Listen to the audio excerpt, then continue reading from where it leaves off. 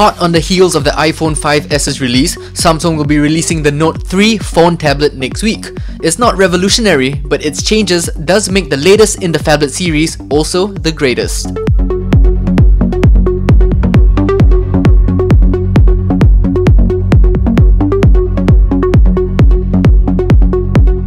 The first Note won over many iPhone users looking for a bigger screen.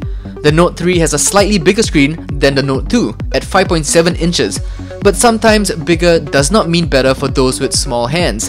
Thankfully, the phone is slightly thinner than previous entries, and at 5.9 ounces it's even lighter than the 6.4 ounce Note 2.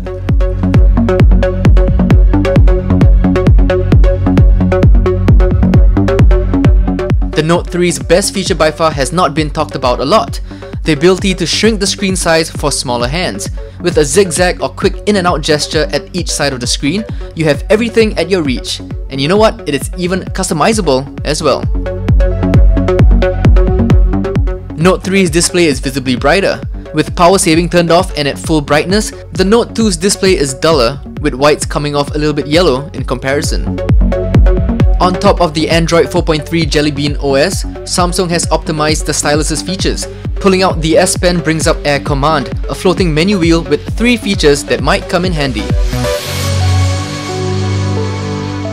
Building on top of its S Note app, Action Memo is smart enough to recognize the data you write.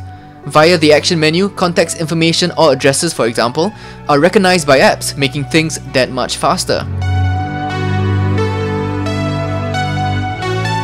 The scrapbook feature is an easy way to keep what you like in one place. See a website or a YouTube clip you like, draw a circle with your S Pen, and the URL and screenshot is saved into your scrapbook. If it's specifically a photo you circled or a video, the media will be played within your scrapbook. Lastly, the multi-window mode is better than ever.